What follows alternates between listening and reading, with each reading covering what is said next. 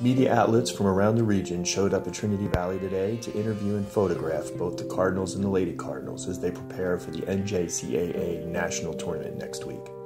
Trinity Valley Sports Information Officer Benny Rogers explains it's been 15 years since the last double appearance. Yeah, we're really excited here in Trinity Valley because this is the first time since 1999 that both the men and the women have gone to the national tournament the same year. And it's also the first time since 99 that the conference has had the same school send both teams to the national tournament. So I guess we waited around for someone else to do it and no one else would. So the Valley's headed to Kansas. Cardinals will start their championship run on Monday against Pratt Community College, while the Lady Cardinals will wait until Tuesday to take on the winner of the Western Nebraska College and State Fair Community College game. Watch Henderson County Now for updates on both teams throughout the week.